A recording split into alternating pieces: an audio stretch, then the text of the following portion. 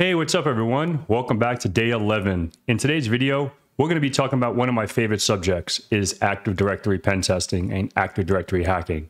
So let's get into the desktop and have some fun. All right, guys, so here we are on the desktop now.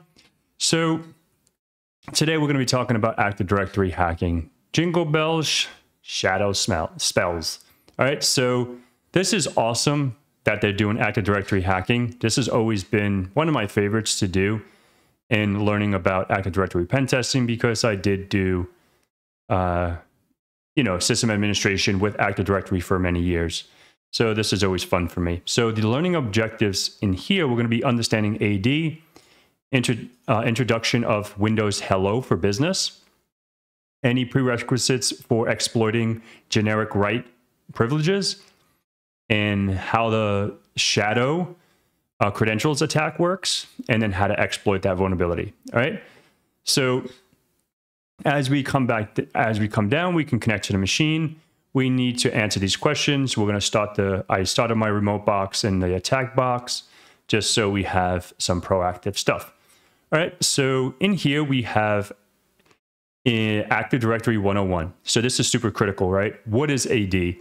It's mainly used for businesses in a Windows environment anytime you want to have your Windows computers authenticate to an Active Directory domain, you will join this to a domain. So the system administrator, network admin, whoever manage everything in one pane of glass. So instead of like Joe, Sally, whatever is on each individual computer and they're managing themselves, we can centralize that. All right. So as we, you know, it's central, like it says here, it's a, it's a centralized authenticated system. All right. So as we come down, you can think of AD as a digital database containing objects like users, groups, and computers, right? And each with a specific attribute and permissions, as it says right here, right? So ideally, it applies to the principle of least privilege. This is super critical, right? And uses a hierarchy approach to managing roles and giving authenticated users access to non-sensitive data throughout the system. So as you can see here, you know, you have, you know, Bob and Sally here with Sally and an OU, and you can get some of the hierarchy of Active Directory, right? So as we come down, we can think uh, think passwords are hard to remember. Say hello to right here. Windows Hello for Business, right, is a modern and secure way to replace conventional um, password based authentication. Instead of relying on a traditional password, it utilizes cryptography or cryptographic keys, right? So we can come down here, we can see here the MS DS key uh, credential link is an attribute, and then we're going to see that right here shortly. Sorry, again, I was doing everything just to FYI. I was doing everything in my Kali machine and nothing was working. It was super slow, so that's why I'm not using my Kali machine today. Uh, so that's why I was recording, and of course, it happened again. I had to start recording again. All right, so just a little side note. All right, so the key storage here is the user's account MSDS key credential link attribute will be set. So for this user, Tracy McGritty, right, you can see her attribute right here inside of her user in the attribute editor tab. As we come down, we can see the process, right? One, two, and three, we have the client, we authenticate, use the authorization, and then we generate the key, right? The certificate generation. As we come back down, we can now get to the enumeration stage, right? So what we're going to do is we're going to do these three steps right here. We're going to go ahead and move to the directory desktop. We're going to do PowerShell EB PyPass, and then we're going to load it. So if we're inside of here, we can just CD to desktop. Okay. And then we're going to do PowerShell. Well, not that. Let's see if we can just copy and paste. So let's just make sure we don't have any mistakes. So let's just PowerShell EP PyPass and then hit enter here. And then let's go ahead and load up the Power View script into memory. And here we go. Perfect. Let's continue. So now at this point, we can enumerate the privileges by running. So let's go ahead and use the find interesting domain ACL for access control list and then resolve grids. All right. So let's go ahead and hit enter here and see what we get. Anything? Maybe it's taken a moment. Oop. All right, so let's give that a moment. And then as we see, uh, we didn't see anything yet. It's probably taken a second, probably a lost connection. I don't know. I've been having bad luck for the last few days with TryHackMe's. I don't know if I'm just starting the rooms in just different parts of the day.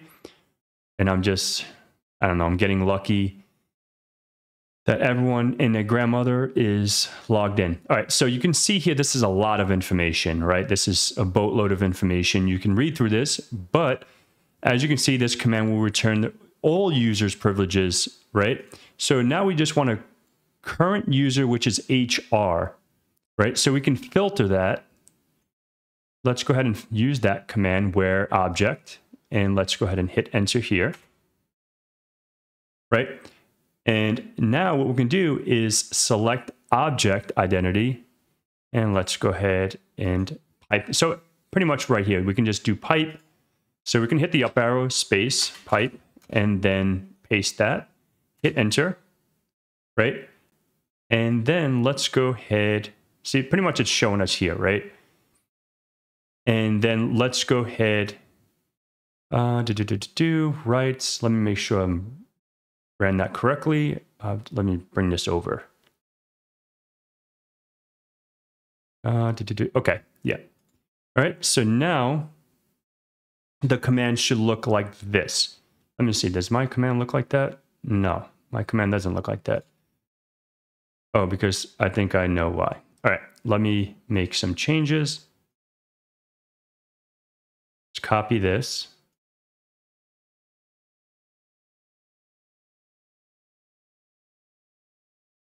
All right, so let's pipe this and then paste, hit enter.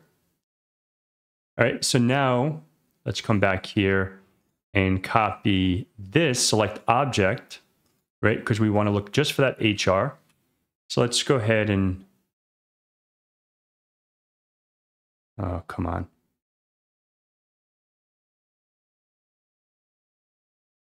All right, come on.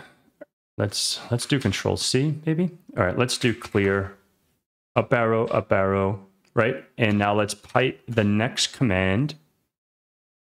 Did I copy it? I thought I did. Let's copy this again. Paste. There we go. And then we hit enter here. And we'll give this a moment to give us the results. And what we should see is the result just for the HR, right?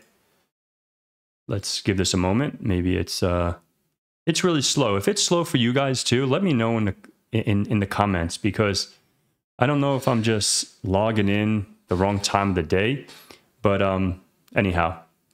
So we have this identif uh, identify reference name.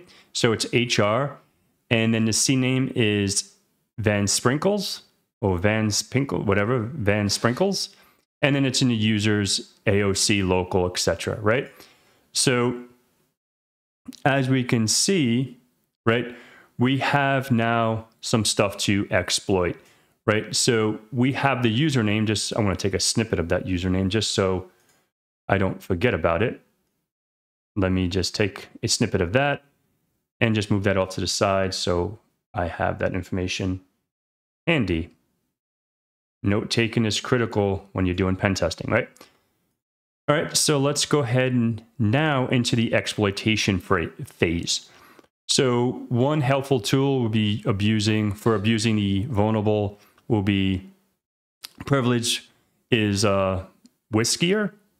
You know, this is a C plus utility created by, you know, Ed Schnarer, Sharon, Sharrier. Sorry if I'm spare, whatever, however you say your name. All right, so as we can come down here, we can load this in. So let's just copy this. Actually, let's just copy this. No, we're not, going to use administrator, right? Because it's going to be the user is going to be this. So let's go ahead and copy this. and then paste that, okay? And hit enter here. So now what this is gonna do is generate the information that we need, right? So it's enumerating everything. So now we're gonna use this, this tool to ask the ticket granted ticketing for, for Van Sprinkles, right? And this is a certificate. So technically we're gonna, it, it's pretty much walking us through. This is what I love about Try Hack Me. So now this is pretty much what we just did, right? Now you can run this uh, Rubus, however you say that, with the uh, following syntax. As TGT, this will request a ticket granting ticketing, the user's certificate, password, domain, get credentials, DC. As you can see here, this is the way you can run that command. But instead, we're going to go ahead and copy this, right? But we're going to have to make some modifications, right? So let's go ahead and copy this. Come back up here and let's paste that. Whoops. So let's, we're going to go ahead and paste this here. But obviously this is not the information that we need. So the password, wait, wait a minute. What am I doing? Um, let's go back for a sec. Sorry. Uh, do, do, do, do, do, do. Uh, local certificate. So we're gonna have to look at the certificate up here. Let me. All right, I, I see. So technically, let me just, let me delete this all. And then what I'm gonna do is utilize this command, right? I'm just gonna use this. Let's copy all of this. Copy. And then I wanna paste it here. And before I run it, I want to just gonna go ahead and go all the way up. Let's go ahead and go all the way up. All right, and dot backslash because we have to run this, okay? So now we can hit enter here and now we should get the information that we need. And let's come back up here. And once we run this, we'll get the service name, we'll get some information. And then the most critical thing we should get is the LTL, L, NTLM hash, right? And with that, then we can utilize some tools what pass the hash and all that good stuff. So we'll, we'll give this a moment to do its thing. And then here we're going to be using the uh, Evil WinRM technique. So we're going to use this tool with our IP address. And then this is not going to be the user because we're going to be using, what was the name of the uh, person? Mick, McFit, whatever the name is. I forgot already.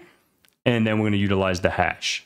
So it's going to look like this once we have the information that we need. Perfect. Here we go. So mix, mix sprink, whatever, Van, Van Sprinkles. All right. So now we have the LTLM hash here, right? So now what we can do is run WinRM on the attack box. So now we have the attack box here. Let's open up a terminal and let's go ahead and bring this over here. Let's go ahead and zoom this in a little bit more. Let's go ahead and uh, do, do, do, do, do. Whoops. Let me see if this works. Oh, it works. Okay, whoa. Oh, I didn't mean to do it that big. All right, so now we're going to go ahead and use WinRM.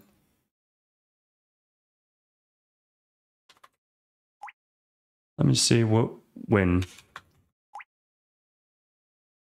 evil win rm. So I want to copy this. Let me just go ahead and copy this just so I have paste. And obviously this is not going to be my hash, right? My hash is going to be this. Let's go ahead and copy this. Paste. All right, so now the this is not going to be the user, right? Because we, we need a Van Sprinkles user. So let's come back here in Van Sprinkles. Whoops. Let's copy that. Let's come here, paste. All right, so the IP address of the machine. All right, so my IP address for my domain controller, right? Uh, let's go ahead and see what is my IP address? So it's going to be 10.10.213. I copy it? All right, let's see if that worked. Paste. All right, and let's see if we can get a shell. Boom, we are in dir, ls, nothing. All right, so let's cd to, let's do cd dot dot one more. All right, so let's do dir. We can see administrator and all everyone here. Now pretty much we got control over this machine. Conclusion. All right, so we stumble upon a misconfiguration. After all, an attacker has gained full access to our Active Directory. All right, so what was the vulnerable hash, uh, vulnerable hash for the user? Uh, let's go ahead and come back here. This was mine. Let's go ahead and paste that in here. Hit submit. Boom. Perfect. Now we need to get the flag from the administrator desktop. So let's come back to our attacker. Let's cd to administrator. And then cd to desktop. And then do dir. And then we have a flag, so type for Windows and flag.txt. And bada bing, THM, Christmas is safe. All right. Let's copy this, make it easier, and let's paste and enter. And boom, we completed day 11. Compromise an Active Directory. So if you want to learn more, you can go ahead and do that.